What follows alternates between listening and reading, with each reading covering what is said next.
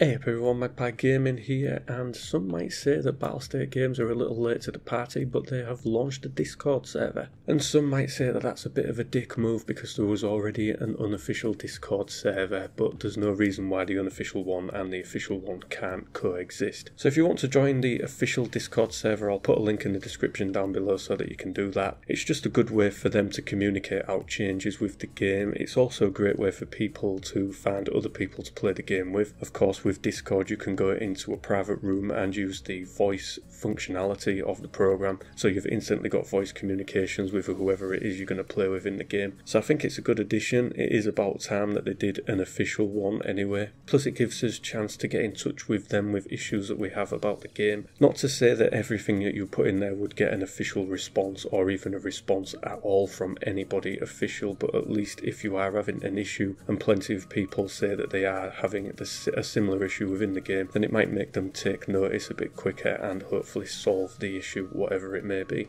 One way to note is that where before you can join this Discord server, you need to verify your identity with a phone number. You put your phone number in, they send you a six digit code that verifies you and adds you to the server. It's just an extra layer of protection that they're putting in, and I think it's kind of just to deter people joining and putting a load of crap and then leaving it. Obviously, wherever Battlestate and Escape from Tarkov go, they bring a certain amount of toxicity with them, so I think it's maybe just a bit of a move to cut some of that out. The the link is in the description below if you want to join and that is pretty much it for this video folks. As always thank you very much for watching and listening. Don't forget to like, share and subscribe and I will catch you in the next one. Take care.